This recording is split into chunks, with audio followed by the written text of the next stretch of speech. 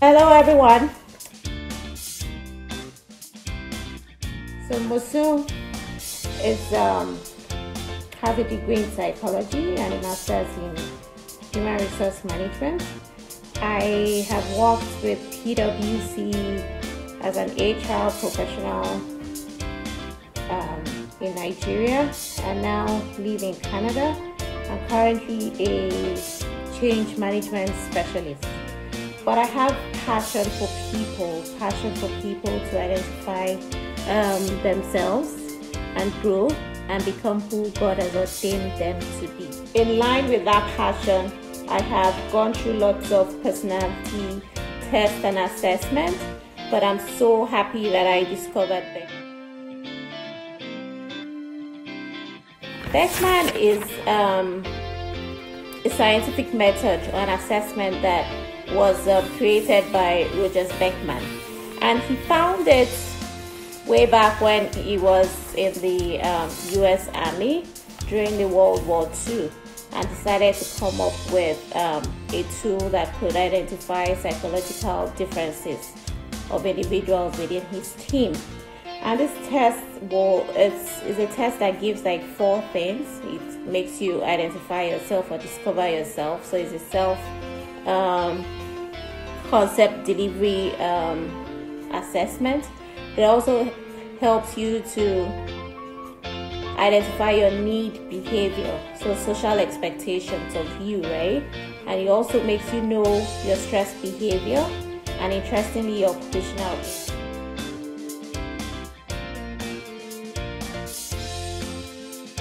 Um, for me, this time has been a good time for me to um, come up with materials that will help to share with people and partner with people to achieve their goals and to get to their ordained um, destiny. So I think we should all take time to reflect and ask ourselves um, questions. Am I in the right path right now?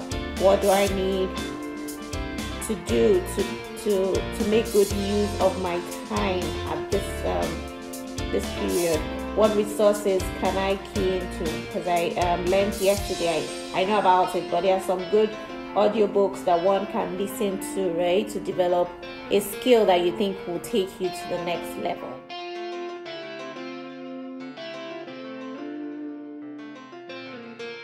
So right now, I currently have a client that I'm trying to build a business um, proposal for and come up with a structure for his business. We're actually at the initial stage, but it's an interesting one because he has a um, a furniture company that he's trying to build up. So I'm working with some um, entrepreneurs, and it's so interesting that uh, it's good for entrepreneurs to discover themselves first before deciding what business or what um, sector to go in. So as I said earlier on the Birkman tool, it's a good one to identify yourself and know your interests. And it's good to know your interest because if you are interested in an area, it will give you joy and satisfaction. So I think it will be good to encourage entrepreneurs to first go through the Birkman assessment to identify their interest and then go from there. So the, the um, client I'm working with uh, has been able to identify his interest and his passion for creativity. And so I think it's a good start for him to work with him.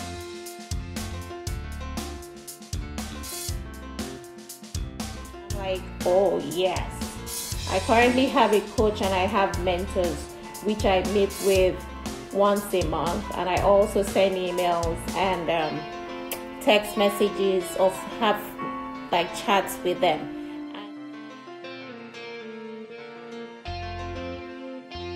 For me, it's very key to have a coach because it will improve you.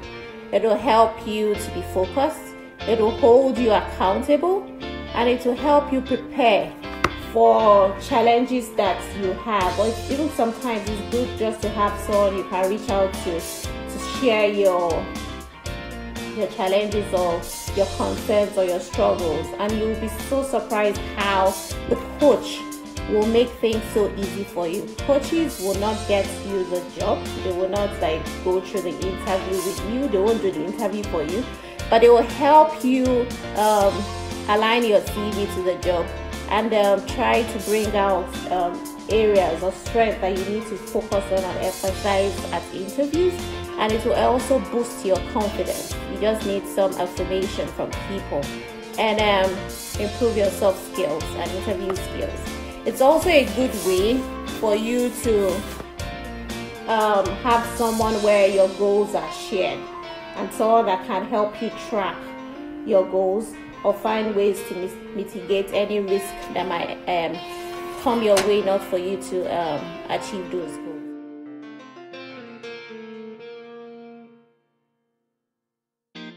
For me, having a balance is key.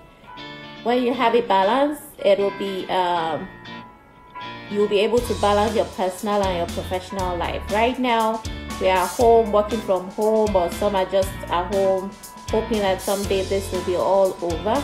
It'll be good for you to find time to reach out to people, find time to develop yourself, find time to stay positive and think of positive things.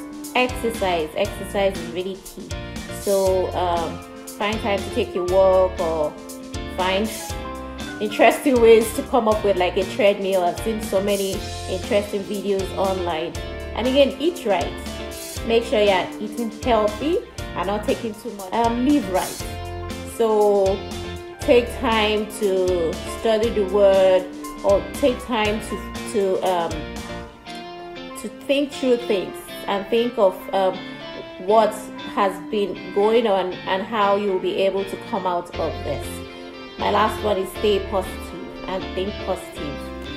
Try as much as possible not to take so much of the junk on social media. It can be very, very overwhelming.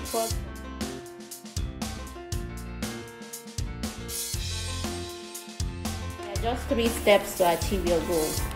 If you have goals somewhere up in your mind, but you don't have it um, written out, then for me, you've not started.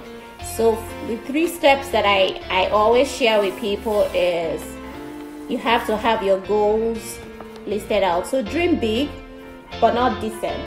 I have big dreams. Right now, this is just my starting point, but I know that it's going to be big in few years. So, and I have it all um, written out. I have my goals for the next 30 years if God spares our lives, right? So I think it will be good for you to take time now because we have time to reflect and write out our goals. Write down your goals, then visualize your goals. When you visualize your goals, you will be able to see the end from the beginning. And if you can see the end from the beginning, then you can achieve your goals because you know that you're on track. And anytime you're going off track, you can say, oh no, this is not what I saw, right?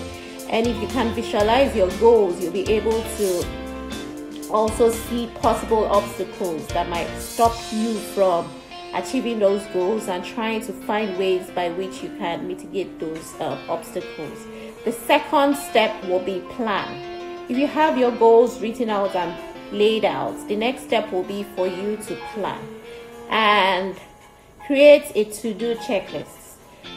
I have a to do checklist which is like on a monthly or two months or three months, most most likely quarterly basis. And I always sit down. Sometimes I'm like, what? I've not done this.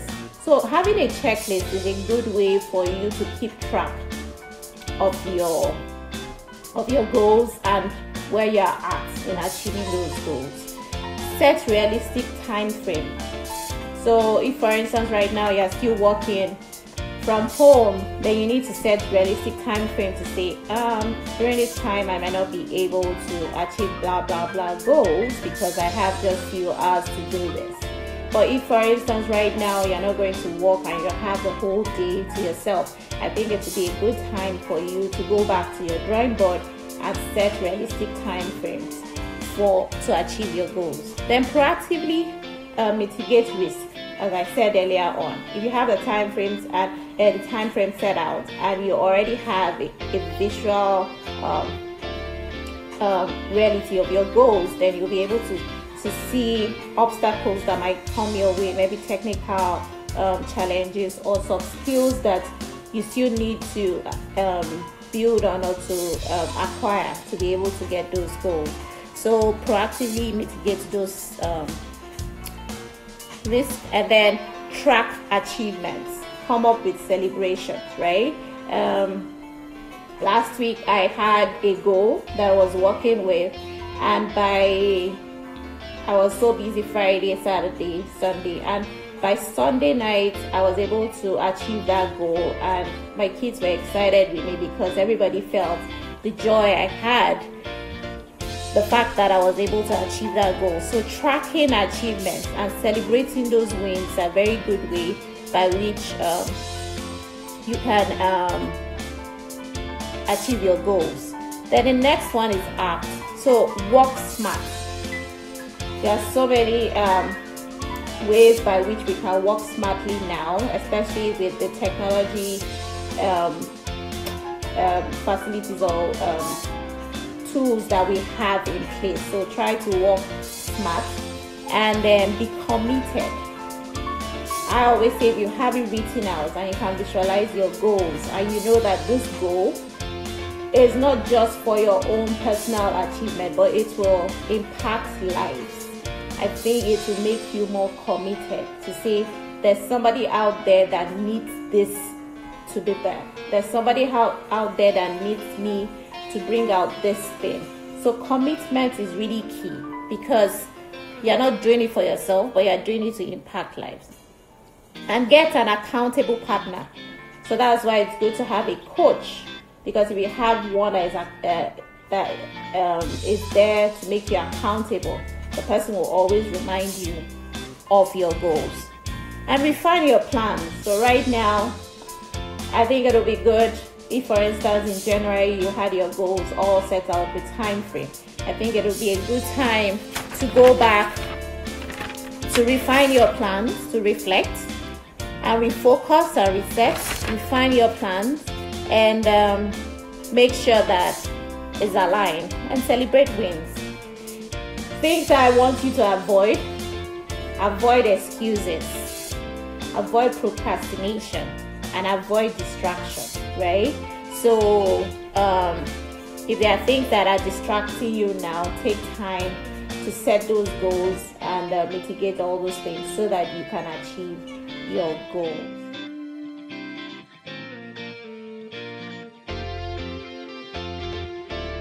It's um, be specific. Be specific with your goals. Don't just don't be vague. Be specific with your goals and make sure they are measure, measurable and they are achievable and they are result oriented and they are like time bound, right? So for, for me, being specific with your goals is thinking through things. What do I want to accomplish? Not just writing. What do I want to accomplish from this? Right? Why is the goal important to me or to the world, right? Uh, why is it valuable to me? What resources or skills do I need to achieve to achieve this goal? So, like, what skills do I need? And I also said that is this really my interest? Will I excel here? Don't just go into goals or write goals because you see your friends going into stuff. No, make sure that your goals are for you, not for somebody else. Or just don't go for goals because somebody came up with an idea that, oh, this would be a good thing to do or a good business to go into. No.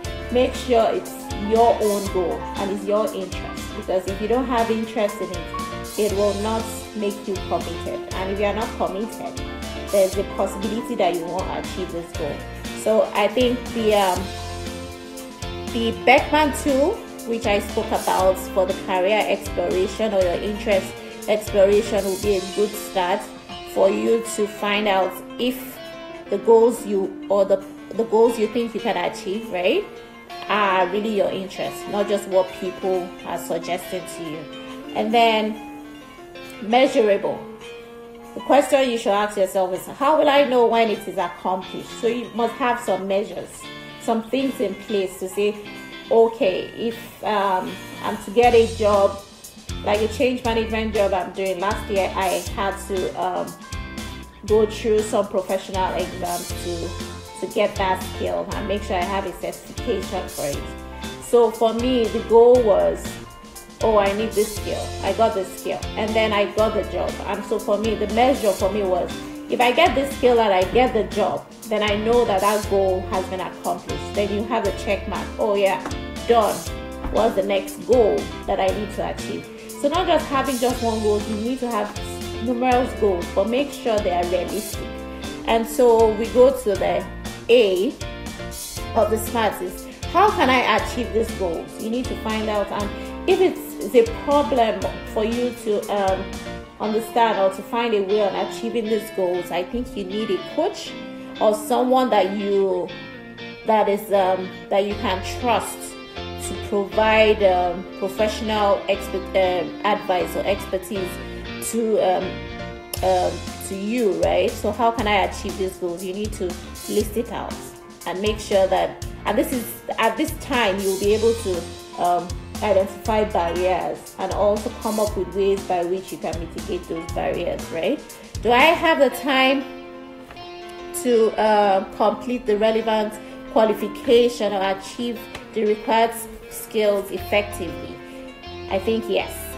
You need to sit down. So, as I said earlier on, I had a goal in 2018, and so I had to search to find out how I could get skills in change management. And so I just had to, to, to, be real to myself to say, when will this goal be achievable, right? And then you need to make it realistic. Is it relevant to the direction I want my life and career to take? I know many of us have been privileged to get into careers that we are excited about, but some people are still stuck in careers that they are not excited about. But I think it's a good time for us to reflect and refocus and reset, right? And see where can I make a U-turn? How can I make changes to my current um, situation? So you just need to ask yourself this question: Is it relevant to the direction I want my life and career to take? Right? Is my current career online uh, in line with my um, future goals? And is my um, is it the right time? You know there are some times that in your career you're at the peak of maybe a position or something or maybe people ahead of you are not resigning or retiring and you just seem stuck.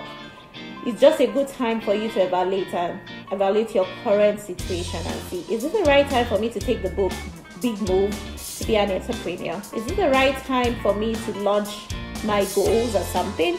So, what is my order of priority? I know some some people might be at the stage of their life where they are thinking of marriage, and it might be or looking for kids or childbirth and all.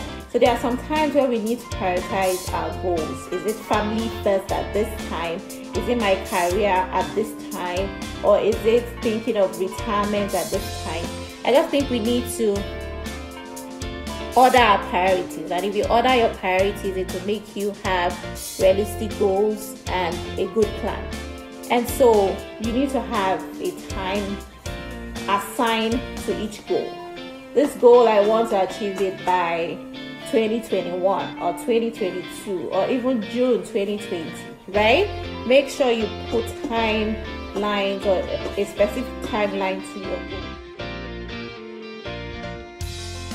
talk more on the Birkman tool and just to share some of the differences I have seen with Birkman and um, the other personality tools out there. Uh, I must say that the other personality tools are good, but I will ponder more on Birkman, which I am more comfortable with. So the Birkman tool is um, is is reliable, uh, scientifically reliable and valid in the sense that the error it gives is like 0.01, which is extremely good, right? And it doesn't just box you, so it gives you um, like four boxes, but it doesn't just box you in one box. You know, when we say box, we have like the red, so the doers, and we have the orange, the analyzers, and then we have thinkers, which are the blue, and we have the communicators, which are the green. But this doesn't just box you into one and says, oh, you're a thinker or you're an introvert or just an extrovert. What it does is it um, it makes you because it gives you like your usual behavior, right? And it gives you your um, need behavior, and it gives you your stress behavior. So it tells you that sometimes when your usual behavior, like for me, I'll, I'll share my own profile. So my usual behavior, I'm between a doer and an analyzer. So that's a red and an orange. So what, what does a doer do? So high energy team member gives direct feedback, makes quick decisions, and makes practical choices and speaks their mind, right? And as an analyzer, I'm also an independent thinker, insistent on processes, fear and trusting, and more focused on tasks. So that's my usual behavior. But it was so interesting to find out that my need behavior, which is so funny, which is almost like opposite of my usual behavior, thinker. I, I, I always I think because people think I am like I take decisions quickly, they always expect me to make decisions or be very rational about things. But I actually need people to to um to to give me time, like planning before acting. Um, I need people to let them know that I'm a good listener, and I need people to be sensitive to me and to my needs and not confrontational or making or uh, making thorough decisions, right? So what I like the Birkman is it doesn't just box you to one and you think, oh yes, I'm the doer and analyzer. But it also exposes you to your need behavior. And this tool is a very good one because it's it's good you have it. You can share it with your spouses or even with your team members because it makes people know you and understand you, right? The other one I want us to focus on is the occupational interest piece. So it's so interesting that you have to go through 298 questions in like 30 to 40 minutes. But there are no right or wrong answers, right? So the occupational interest one is so good because when I went through it, I, I, I felt so bad for myself. Like, ooh, I wish I had the opportunity to go through this assessment when I finished secondary school. I might have taken a different tool. But right now, for, for like my first choice, but it's so interesting that my current HR uh, experience and what I do right now is still in line with my interests. So I was excited. It was not like a bad deal.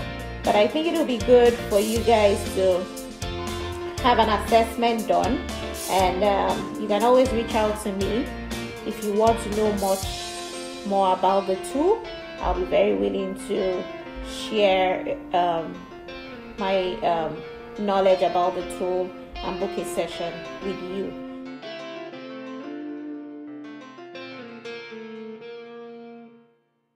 Interested in is helping people revamp their CVs or have a discussion on how they can achieve their goals. So I might not write your goals for you, but I don't mind being an accountable partner to keep you on track to say where you at on this piece and how do you plan to achieve your goals. So if you need, um, you are looking out for a coach, or you're looking out for an accountable partner, or you're looking out to know much about the Birkman tool, and you think you have interest or you want to discover yourself, or you have a teenager from 16 and above or anyone that is 65 or 60 or 50 and is planning retirement or planning life outside of work or wants to have a plan B, um, you can always reach out to me on time to explore with Mosun at gmail.com or on my um, Instagram um, handle page, which is time to explore with Mosun.